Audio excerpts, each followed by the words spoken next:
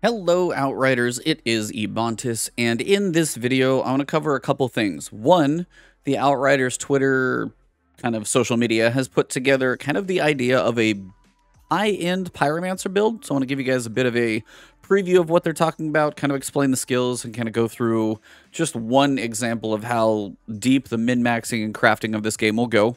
Uh, you'll get some previews of some legendary armor and weapons that they kind of showed in that video as well. And then the other thing I want to remind you guys about first is the fact that the game comes out in one week. We are one week away from launch. Now, I don't know the specific launch time for, you know, like if it's going to be global launch or how that's all going to work. I know last time for the demo, basically everything went live, so you could imagine that servers are probably going to be hit pretty hard, so you might give it an hour or two. You might not ask off for, like, you know, the full day, or you might take off half a day, something like that. But the game launches on April 1st. It's going to be on basically every platform you can think of PS4, PS5, Xbox One, Xbox Series S and X. You've got Steam uh, for PC and also Epic Game Store for PC. And then I do believe Stadia is going to be coming later. So you've got a lot of options to play. The demo that I'm literally standing in right now you can also play on everything but Epic at the moment. So you can play it on PlayStation, Xbox, and Steam. Now remember, if you do play the demo and you want to carry your progress forward into the full game, just wherever you played the demo, make sure you that's where you buy the game. If you played the demo on PS4, get the game on PS4. You will be able to get next gen console upgrade. So if you're playing on PS4 right now and then you get a PS5 pretty soon, you'll still be able to upgrade, take your progress forward within the console family. Now if you play on PS4 and then you're, you know, you get an Xbox Series X, you would have to start your progress over if you switch platforms. So keep that in mind wherever you play the demo, especially, uh, or if again, if you buy the full game, you will carry your progress forward into the same family if you upgrade from like, you know, last gen to current gen consoles. But again, you can't take like a PS4 save to a Steam account. It's not going to work that way. That being said, there is cross play. So remember, I can, being a Steam player, play with somebody on PlayStation and Xbox in my team and party, and we can still go through the entire game three person co op on three different consoles, which is really awesome. And I think that's going to help both the matchmaking pool um, and just really overall making sure you've always got somebody to play with if you want to. And remember, the game will adjust quite a few things automatically, like difficulty. If you do well at a certain difficulty, it automatically bumps you up to a higher world tier to kind of increase difficulty and increase rewards.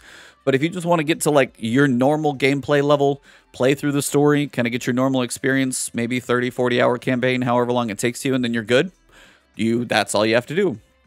But the way this game really gets deep is going to be the crafting, the min-maxing of like having your skills, armor mods, and your skill trees for your classes all synergized together to do some crazy things. So what I'm going to go through now is basically showing you guys, there's a really cool website, I'm going to put it below in the description, you guys can toy around with it as well. And it's a website where you can basically practice and take all of the potential skill points that you're going to have, which is a total of 20, and build your skill. And then from there, I'm going to use that skill tree to explain the build that the Outriders kind of social media team to put together. They called it like a fire witch and kind of explain what they're talking about and how it's going to work. So let's get into that one so you guys can see how deep this can go. And then we'll wrap this thing up. So this is the website I was talking about, and you will find it below in the description because shout out to the person who made it. They definitely deserve some credit.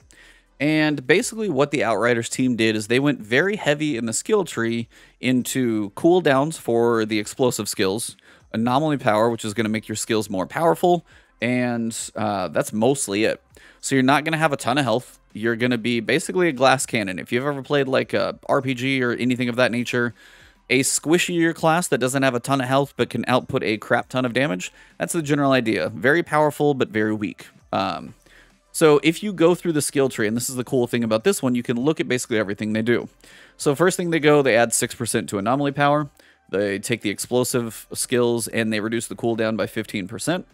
10% uh, skill damage is against marked targets, which is basically any any enemy as a pyromancer that you damage with your skills is going to be marked. And then when you kill marked enemies, that's how you get your health.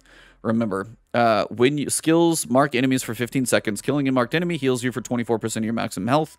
If you kill four enemies, you're basically healed up. So you get big chunks of health, you just have to mark them and then kill them. And that's why this one's actually a really cool build because you're going to be able to tag and kill and do lots and lots of damage really fast. So killing enemies probably should be pretty often. Right here, you've got weapon damage 5%, but again, 5% to anomaly power. They're going pretty much as much as they can into that. Cooldowns, 10% school 10% skill cooldown reduction on everything. So that's just a broad one. This one up here is 10% health, and then also 10% skill cooldown for Ignite. That's the other skill that they're using. We've got another 6% to anomaly power, 10% damage against marked, another anomaly power, another 5% anomaly power, anomaly power, 20% resistance, basically just a little survivability because we're not too worried about skill leech. Because if you're killing people, you're if you're killing enemies with that are marked anyway, you're going to get plenty of health back, so you don't need to increase your skill leech as it is, just kind of a wasted talent. 6% anomaly power here as well. 15% resistance piercing. That means your skills are actually going to be more effective against either armored or high level enemies that might resist them otherwise. It's going to be even more effective. 10% extra damage against elites. Of course, killing bosses faster is good. 10% skill damage against marked enemies. Same principle. I think we're up to 30% there. 15% skilled cooldown reduction on explosive. Remember, we had the same thing here, so now we're 30% faster for our cooldowns. And then finally, we've got 30% skilled damage increase for explosives. That is basically everything on the skill tree in a quick run through. And the cool thing about this website that kind of like accumulate everything together. So anomaly power, and I have max stats on. That's what these other col columns are. So everything in white is as high as it possibly can get from the skill tree. But generally, your anomaly power, 50% higher. Damage against elites, another 10%. 10% extra health. You've got 20% resistance. Your resistance piercing is 15%. Skill cooldown on explosives, 40% faster. Uh, ignites are 25% faster. Immobilizer 10%, but that's not what this build is using. Skill damage against marked enemies, 30% more damage. Skill damage for explosive, 30% more damage. If you use an explosive against a marked enemy, guess what? Those probably stack. They should. Most things do. Nice thing about a PvE game, PvE only game that doesn't have to worry about PvE, things are probably going to seem broken, but if you get to world tier 15 in an end game activity, it's probably going to need to be broken so you can stay alive. So, and weapon damage 10%. So overall, very cool. Also activating an explosive skill. Remember these, skill damage. Increases anomaly power by 12%, which means any other skill you cast after that is going to be more powerful. And they specifically go into a build of what abilities they're going to use, so let me switch over and show you guys what those are. The first one is going to be Overheat. So the skill here is going to be Explosive and an Interrupt skill. Basically, it just deals damage to enemies within a large radius, and it's big, and you can actually get a mod that can make it even bigger. You can nearly tag every enemy in an entire arena by hitting one button. Now, you're not going to do a lot of damage to them at first, but the difference is, if an enemy is affected with Burn, in any way, shape, fashion, or form, and you can get mods on weapons that can cause this damage as well, um, they receive additional damage. And it's like an insanely much higher amount of damage. It's like from 30 to like 300. So basically, if an enemy is already burning and then you hit overheat, theoretically you put that together, they're burning already and you overheat them, they basically take a big chunk of damage if they don't die from it. I would be surprised most of the time. Second skill is going to be Phaser Beam. Now, Phaser Beam is, is, is an ignite skill, so it's going to cause them to burn and it's also going to interrupt. And that's the thing for bosses and higher level enemies. If they have any any abilities themselves and you can see them actually charge their abilities up, you can interrupt them if you don't do it too frequently. And now if you use an ability on them like six times in a row, they will actually build up a resistance, which is one of those things I'll cover in a future video. Um, but the idea is you can interrupt basically an enemy's attack if you use one of these interrupt abilities. So it's pretty powerful. And this one fires an energy beam that deals damage that benefits from status power, basically increases the damage of the status effect, like burning, and will cause you to interrupt the enemies as well as hit enemies in a small radius around. So you're going to kind of send this fire beam that's got a decent radius and burn a whole bunch of people in front of you. The final skill is going to be er eruption. Basically, it's an explosion. Um, create a volcanic eruption beneath the selected enemy dealing damage to all enemies within a small radius of the target. The eruption spews lava, dealing damage over over time within a small area. And basically they state is if you want to use this like sequence because the cooldowns are going to be very low. Remember the cooldowns are like 30% faster and there's some armor that makes it even better. You're going to go overheat to basically tag everybody, phaser beam to catch some people on fire, eruption to burn other people if not the same ones, uh, eruption again, because apparently it can go that fast. Overheat, if everything in the arena is burning and you do overheat, just it's all going to nearly die. Eruption again, phaser beam, overheat, etc. So overheat to basically tag everything, get it started. Then phaser beam to kind of, you know, shoot towards a bunch of enemies, burn a lot of them, do some damage, eruption on some of the same or even more in a separate area. Everything should be burning at that point, which is a really good thing. And then you do overheat and basically cause it all to just kind of just go up in this white crazy flame. Uh, and they state starting with overheat provides a 12% anomaly power boost, damages all enemies, so plus 24% damage in close range, and then marks them displaying the nameplates.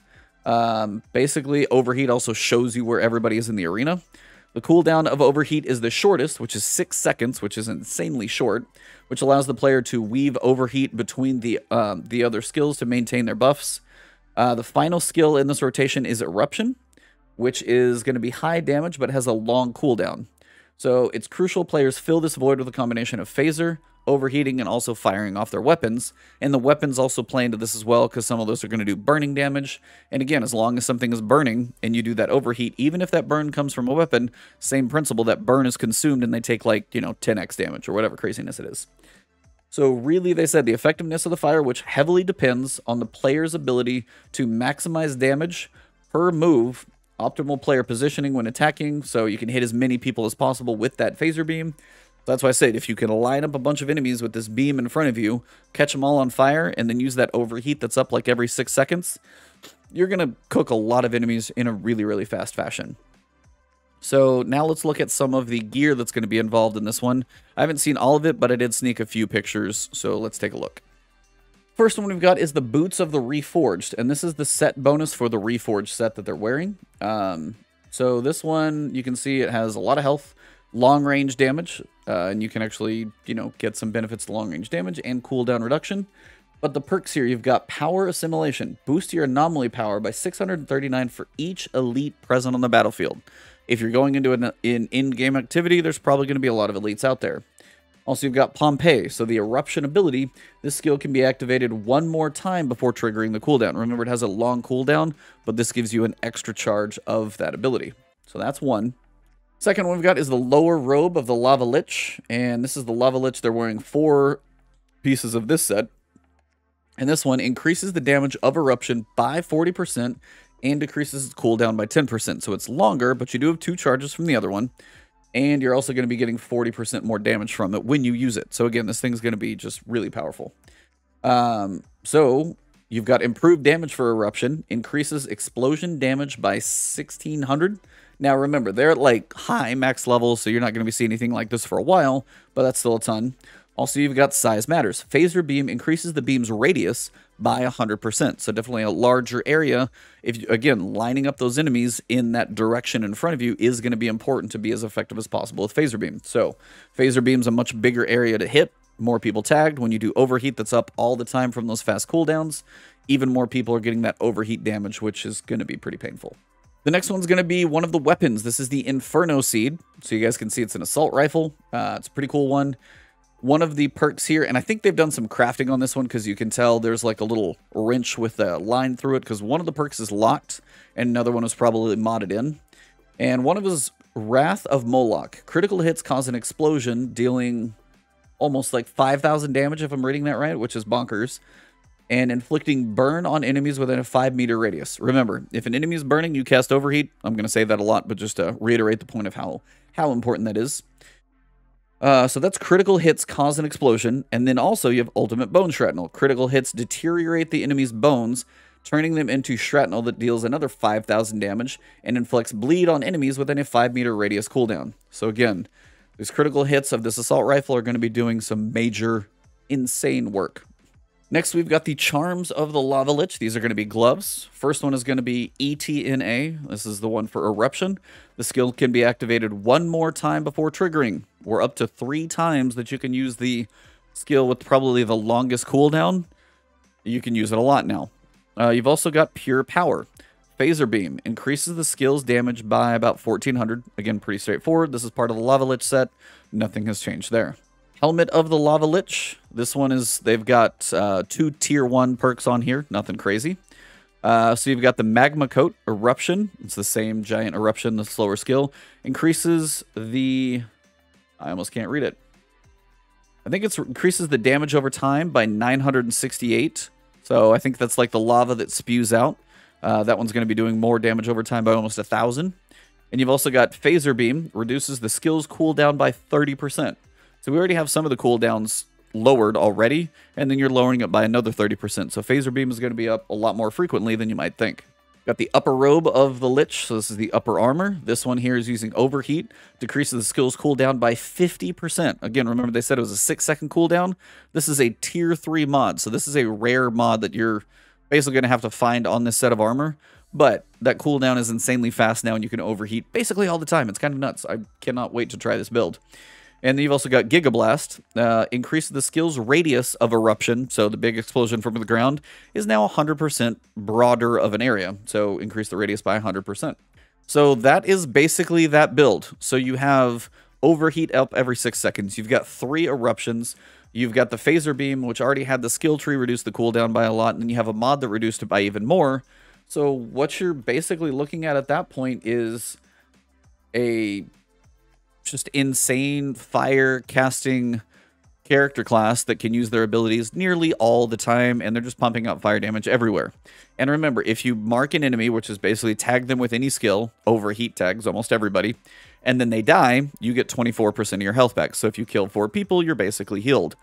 So if you're killing people and pumping out that much damage all the time, you should probably be able to stay alive. That's why, hence the glass cannon, you're probably taking damage and healing yourself just nonstop the whole time. It's this just delicate dance of staying alive, doing enough damage to kill things consistently that are marked, and just overall. And remember, if you mark something and you're in a team and your friends kill it, you still get the health benefit because it died. Because the main thing is, if you're a pyromancer, as the Pyromancer, you will recover health whenever enemies marked by your skills are killed. Doesn't matter who kills them, it just means whenever a marked enemy dies, you get 24% of your health back. That's it. So that is a really cool Pyromancer build that I wanted to show you guys. You've got a skill tree that is already like taking the skill cooldowns by 30%. You've got your anomaly power up by like almost 60% or 50% or something. Then you've got mods on your armor that is just, you know, you've got your abilities three times. You're doing some crazy stuff and pair all of that with some abilities that we haven't even seen yet, and then some pretty cool weapons, you guys can see how this game can get very deep and very, very cool. So hopefully this is something that you guys may not have thought the game would have to offer, and now you guys can see when it comes to the level of crafting, the end game grind that you're going to be going for, this is the type of character class and build that you're hopefully going to be able to make. So if you guys are interested in this game, um, make sure you guys subscribe to the channel. I will be covering this thing a lot uh, as an ambassador Probably won't have any like early access or anything, but on the day of, I'll be streaming it a lot. Maybe even taking breaks to make like content as I figure things out. I'm going to be doing a crafting video as soon as I can once I've got access as well. And then I'm also going to be doing from all my time in the demo and everything else. I'm basically going to do a video of like, you know, 50, 72, however many things that I've learned from playing the demo as much as I have. Look for that one right before launch on my channel as well. So if you guys are new, hit that subscribe button and alert bell. You guys will see when new videos come out. You guys can also find me on Twitter. It's Ebontis there. And then twitch.tv slash Ebontis. I do a lot of my streaming there. Sometimes I stream on YouTube. But overall, hopefully you guys enjoyed this video. Hopefully you guys are excited about how cool some of these character builds can be. And I will see you guys when it's live. And as it's crossplay, maybe I'll be able to play with some of you guys. And nice to have no limitations. Maybe I'll play with a lot more thanks to crossplay. So have a good one, and I'll see you soon.